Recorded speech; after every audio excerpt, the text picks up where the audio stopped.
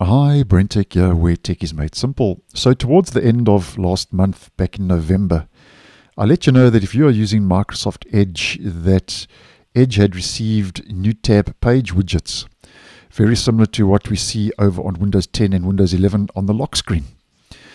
And then a couple of days after that, I let you know that Edge's new tab page widgets didn't seem to be a thing just yet because Microsoft had suddenly removed it from the browser. And just to let you know that in my region today, I have noticed, if we head up to our page settings for the new tab page, that show widgets is back. And there we go. There's the weather widget. And at this stage in, in my part of the world, there don't seem to be any other widgets in the stable version, just the weather. And if we head over to Edge Canary, which is an early preview version, and we do the same, yeah, you can see we've got the full house which previously wasn't available. So this in Edge Canary is a good indication that Microsoft now is going to be testing the other widgets and then rolling these out to the stable version because on the same day I received the weather widget for the new tab page in stable and then all of the widgets in Edge Canary which obviously does indicate now that this is something that Microsoft is going to be rolling out. Now, as you can see, we get full house in Edge Canary. So that would be weather, markets, sports, and travel. And the good news with this is, is that you are able to click on the three dotted menu.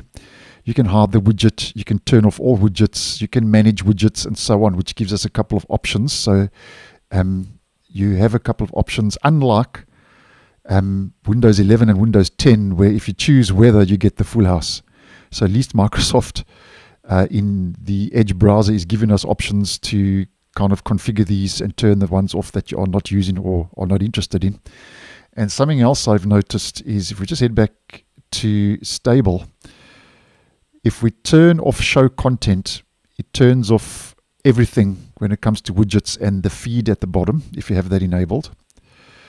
And if we pop those all on again, if you toggle off feed, obviously it just takes the feed away and just has the widget. So you've got a couple of options. So um, just fiddle around with that. Um, let me know if you are seeing this, by the way. I'd like to know if you are seeing the new widgets um, in the stable version in your region. I want to know how, if this is impacting um, Edge users globally or not.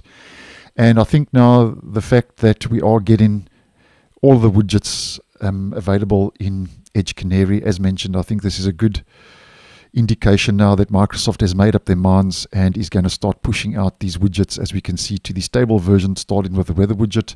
But let me know down in the comments what you think of this, and do you think this is a good idea? And as I've mentioned on the on the channel, it almost seems like Microsoft Edge is becoming its own operating system because there are so many um, Windows 10 and Windows 11 features that have been bundled into the actual browser that and one would think you wouldn't even need Windows to some extent or the other if you are using Edge.